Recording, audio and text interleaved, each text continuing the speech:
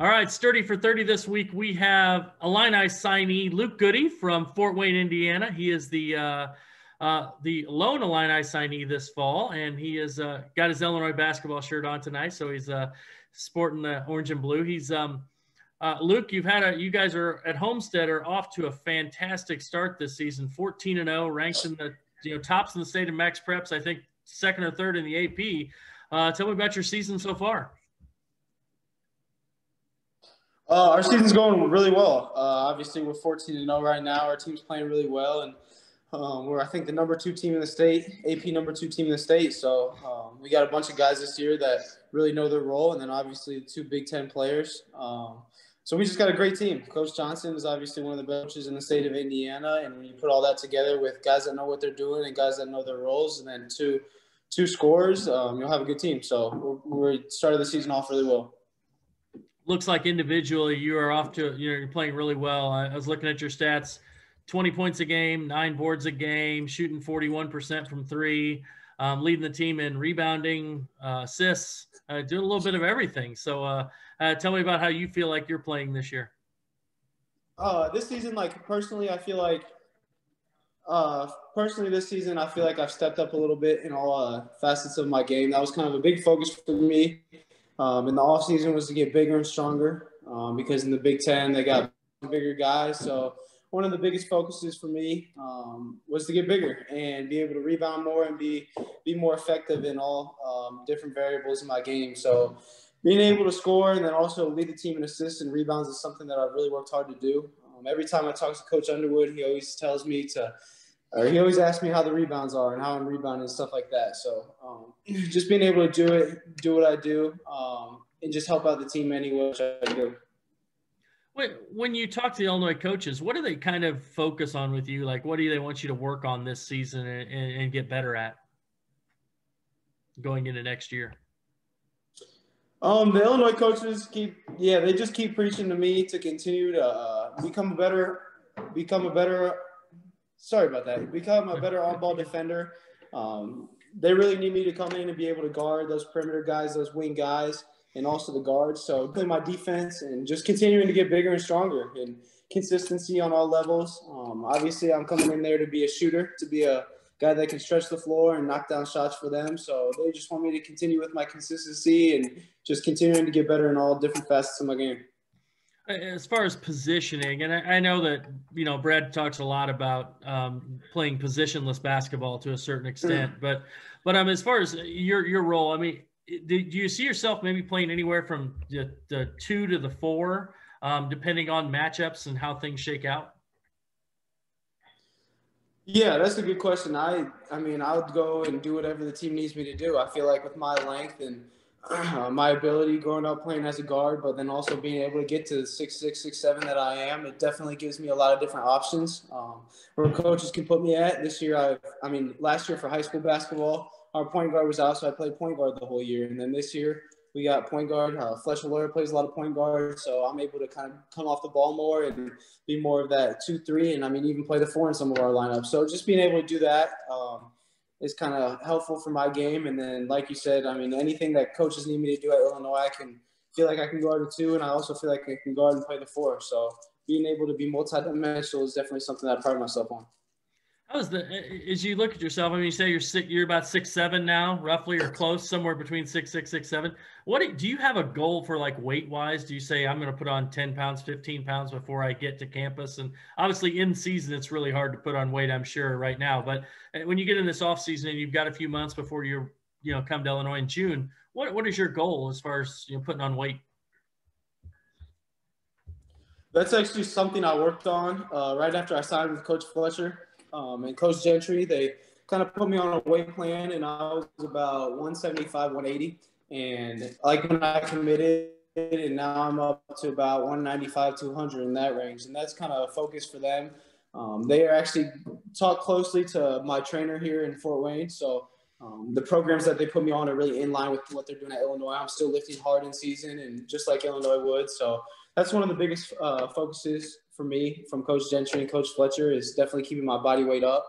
Um, my goal is to go into Illinois about 200 pounds, 195 to 200, and um, hopefully they'll put about 10, 15 pounds of muscle on me. So I'm playing the season about 210, 215, something like that. So I don't know the exact numbers. That's actually a good question. I'm not 100% sure about, but um, I'd assume probably that just based on what they've been having me do and kind of uh, how they envision me playing there.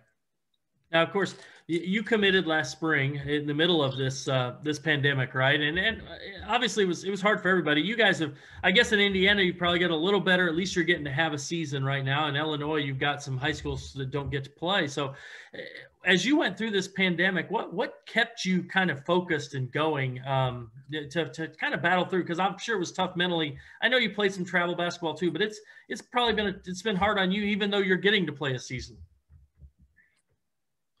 Yeah, I was actually fortunate um, throughout the whole quarantine when coronavirus was really, really bad and just starting. Um, that little four month period or however long it was, I was fortunate to be able to get into a bunch of gyms. We know a lot of people around Indiana with gyms inside their house.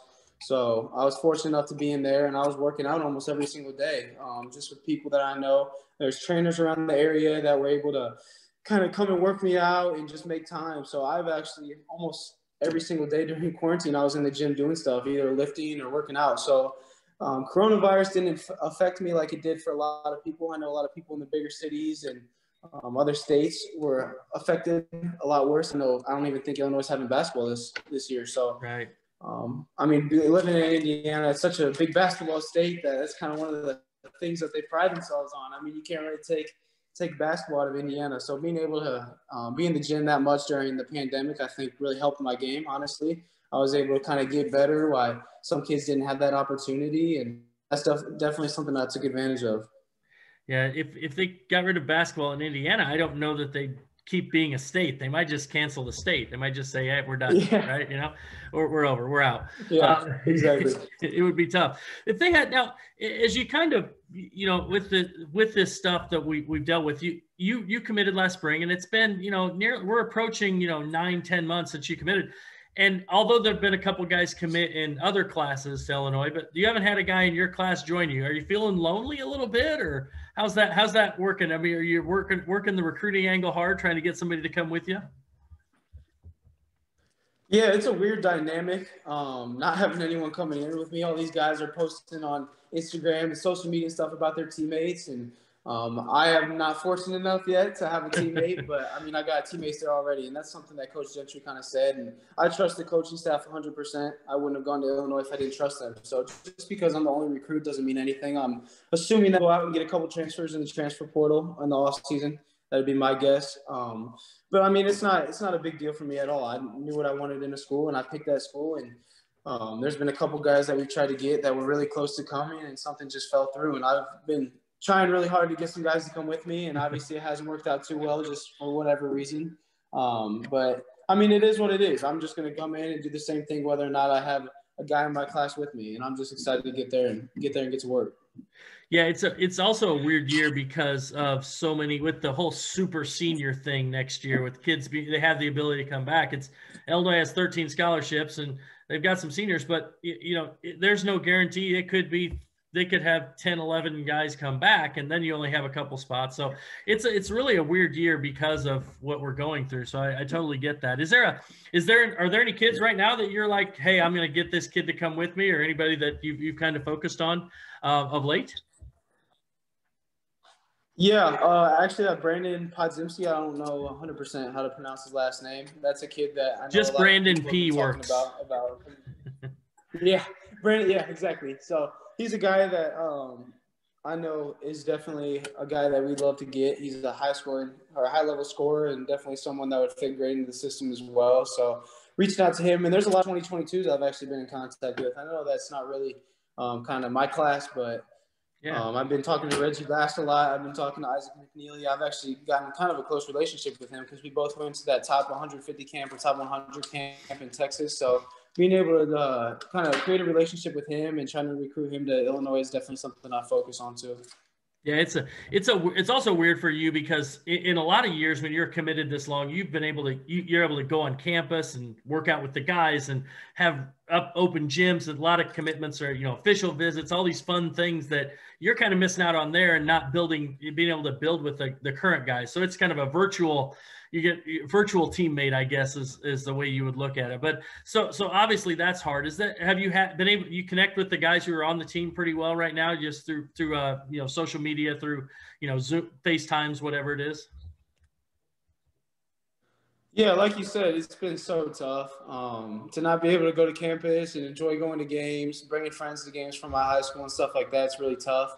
Um, but I mean, I've been able to get uh, get close with Coleman Hawkins. I really play a lot of Xbox with him and uh, stuff like that, and talk to him a good amount. So we've actually become uh, pretty good friends. I've been talking to him a lot lately. But I mean, like you said, it's so hard. Uh, I was joking with Coach Gentry the other the other day. Like my official visit is going to be the first day I'm on campus. So just like stuff like that, it's kind of crazy because I mean, usually when you're committed, you're on campus, like you said, and hanging out with the guys and playing open gyms and being able to get to enjoy the the whole process. But um, obviously this year I can't do that. So, but with all that being said, I mean, just to be able to say I'm committed and signed to a school like that and start creating these relationships with the coaches and the players from a distance is is fun within itself.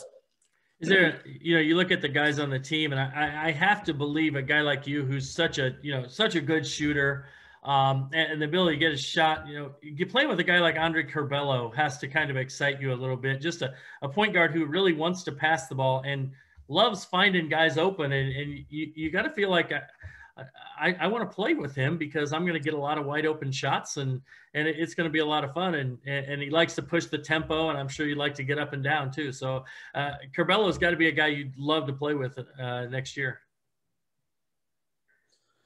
That was one of the big factors actually in my decision was the class in front of me. Um, Coach Gentry always, when he was recruiting me, he always preached to me about how good of a point guard he is, how good their class is coming in, and um, watching them this year really stood out to me how how well I feel like I would fit with him in their system. Um, he's always a guy looking looking for the extra pass and looking to get guys open. So that's a shooter's dream when you got a point guard that's looking for the uh, the open shooter. So being able to go there and fit into that system when you and um, some other guys there, just being able to have a point guard like that and other options to complement your game as a shooter definitely is something that um, will work out well. Is there an uh, Illinois season so far? Obviously, you know, for them, I mean, it's all relative. I mean, they're ranked in the top 20, 20 or so. Eh, but I, I think for them, they're probably, they've lost a couple games they didn't expect to lose or, or plan to lose. And so they're, they're, battling through some tough times, but I think that's normal for college seasons right now. Have, have you gotten a chance to watch them play a lot this year? Yeah, I actually watched every single game. I've watched every game this year. I've been able to uh, see all the games. It's easier for me because it's a time change. It's a little time difference, so the games are at kind of more convenient times for me. But I mean, they're going to be completely fine. Coach Underwood's such a great coach, and just because I mean, the Big Ten is the best conference in the country every single year, especially this year. It's the deepest I think it's ever been, or something like that. I mean, you got teams that are at the bottom that are beating teams at the top. With Maryland getting two uh, conference, their two conference wins, their top 15 teams. It just yeah. goes to show how good the Big Ten is, and I think a lot of people freak out when they see Illinois nine and five and they're supposed to be going to the Final Four and all this stuff. But in reality, they're just playing the best teams in the country. So um, Coach Coach Underwood will do a great job with them, and Coach uh, all the rest of the coaches there, and they're going to be just fine. So I'm excited to continue to watch them this season and continue to see them grow. Yeah, I think that it's it, people forget sometimes too. I, I, think that there wasn't, you know, say nine and five, but they didn't get. Usually they'd play like thirteen or eleven or twelve non-conference games and get those extra games and those wins under their belt. And so nine and five when you're only playing a Big Ten, that's that's still pretty good. I mean, they played mostly high majors and their non-conference were even Baylor and and teams like that. You know, top top two team in the country. So it's been it's obviously it's difficult, but yet at the same time, I, I think that they're gonna they'll, they'll right the ship and get it get where they need to be. So as you kind of navigate through your season. Do you have any big games coming up that you're kind of looking forward to that you say, hey, this is the one I've been putting on my calendar? Yeah, so we play Lawrence North. They're the number 15 team in the country, number one in the state in our class on Saturday, this coming Saturday. So it'll be an all eyes on us kind of game on uh, on Saturday coming up. I'm really excited for that one. So that'll be good. Is there a is there now? Do you know a lot of those guys? I mean, I know Indiana basketball. You guys are pretty tight with the all AAU teams. Do you know a lot of the guys on Lawrence North? Is there kind of a is it is there a good rivalry or? Yeah, so I grew up with uh, their big guy. He's going to Butler. Signed with Butler, DJ Hughes, Deontay Hughes, and I've grown up playing with him since fourth grade in AAU. And they've got a good point guard, Shamar Vance. They've got a another guard that played for Indy Heat 16U this year. And like you said, I mean, Indiana high school basketball, everybody knows everybody. I'm in a group chat with a bunch of Indiana basketball players. I've grown up playing with Caleb Furst and Jalen Blackmon, some big names. And I mean, everybody in Indiana knows each other. So uh, me and DJ have been texting a lot before this game, and we're definitely excited to play. Yeah. So now, as you, you get into that game, I mean, obviously, and then you'll get into your sectionals, regionals, and things as you get down the road. What's what's that look like for you guys? Do you know how that shapes up for you? Yeah. So in Indiana, it's like a predetermined sectionals. Everybody like is in the same sectionals every single year. Uh, non-seeded, it's a random draw, and every single person gets in. So our sectional this year is not as strong as it usually will be. So um, obviously, we plan on winning that and then our regional will actually have potentially three of the top five teams in the state. So our regionals will be very tough. We'll probably have to play Carmel, um, who's good every single year, and then we'll probably have to play Northwestern uh, Brooks Barnhizer, Northwestern commit. He he'll probably be in the regional as well. And then if we win that, um, most likely we'll play the Gary Westside team with Jalen Washington. He has an Illinois offer, and Kamara Peterson. They've got a good squad, and then in state, whoever comes from the southern part of the state. So um, after that sectional, it's really, really a dogfight, and we got some good teams ahead of us. I mean, I, I will tell you this. I, I, I interview a lot of people on here, and I'm going to tell you right now, the fact that you're throwing out these names of all these guys and all these teams that you might play down the road is really impressing me. I mean, that that's impressive that you uh, are you are you a student of the game, a guy who really a basketball junkie. I think we can safely say that right now. Yes, I absolutely love basketball. If I'm not playing basketball, I'm watching NBA or watching college basketball, watching high school games across the state. And um, I know it's not a good thing to be on social media a lot, but I love looking on Twitter and seeing scores and catching up, keeping up with all that. So um, basketball really is consumes my life. So. Yeah, except for there's also Xbox games, right? I mean, that's also part of it. Is there any what what do you play in Coleman Hawkins in Xbox? Uh, we play we play Fortnite together. Fortnite, little Fortnite. That's All right. Thing, yep. Is he now? Yep. Are, are, who's better? Do you team up or do you play solo? How's that work? Yeah, yeah, we play we play together, and I would definitely say I'm a better Fortnite player than Coleman. Okay, all right. So I'm gonna ask him about that. So I just want you to know that. So I'm, right. I'm gonna I'm gonna ask him about that coming up. So no, right, so like it. it's it's good to. I think it's great that you you're get building that relationship with him. You know, virtually because it's so so hard right now. So important hard. We really we really like to get those hard hitting questions here. You know, Xbox. You know, and things like that. And so, is there a fast uh, food go to restaurant? Yeah, I love Qdoba. That's my go-to. There Every time Qdoba. I have an option or anything like that, I always pick Qdoba. Yep. What's the what's the what's the go-to recipe at Qdoba? Uh, I go with the the chicken burrito with extra queso and extra chicken. That's that's fire. That's it's really good. That's good. So you got to have you got to have that thing now. Uh, as you kind of go through this, uh, have you already scoped out when you visited campus? You know where the Qdoba is on campus? At Illinois, so you're ready to go? I do. Yes, I think that's that. If I can recall, that's actually the place that we went on my visit um, in the summer. I think it was either that or Chipotle. I can't remember 100, percent but those are my two go-tos, and I know I know kind of where they're at.